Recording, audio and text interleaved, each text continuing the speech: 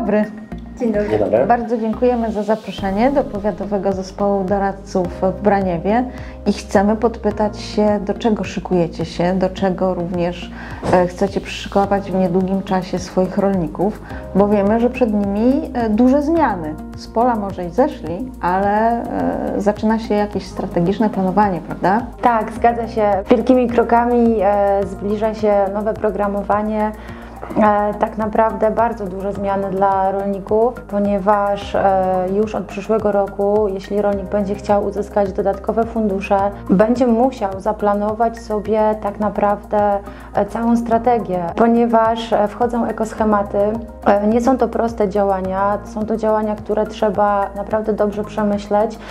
Dlatego też zachęcamy rolników do tego, aby przychodzili do nas, do ośrodków doradztwa, zaplanowali sobie to już dużo wcześniej, e, co chcą e, mieć na polu, ponieważ jeśli przyjdą do nas e, w czasie kampanii wnioskowej, to już będzie za późno. Jak zatem planujecie przygotować rolników do tych zmian, które na nich czekają? Tak naprawdę już przygotowujemy swoich rolników do tych nadchodzących zmian, bo teraz już przy każdej okazji, jak spotykamy się z rolnikiem, opowiadamy im o zmianach, jakie ich czekają od tak naprawdę przyszłego roku, tak żeby rolnicy mogli się przygotować, e, dowiedzieć się, e, jakie ekoschematy mają do wyboru i żeby każdy mógł sobie ten temat na spokojnie w domu przemyśleć, ewentualnie Y, Później ze swoim doradcą sobie to na spokojnie y, ten temat omówić.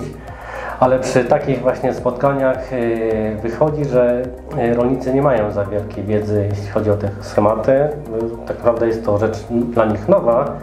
Dlatego y, nasz zespół i myślę, że inne zespoły powiatowe planują y, zrobić cykl szkoleń y, z tych ekoschematów, tak żeby jak najlepiej tych swoich rolników przygotować do tych nadchodzących nowych programów. Dlatego też serdecznie Państwa zapraszamy do naszego biura powiatowego na szkolenia. Informacja na pewno o planowanych terminach e, będzie się znajdowała na naszych stronach internetowych, a także pewnie będziemy do Państwa dzwonić. Serdecznie zapraszamy. I również innych rolników z całego województwa do kontaktu z własnymi biurami.